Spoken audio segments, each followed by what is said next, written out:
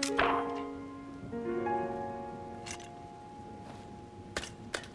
anyone hear me? This is Captain Veronica Dare. My beacon is active. Need immediate assistance. Someone, please respond.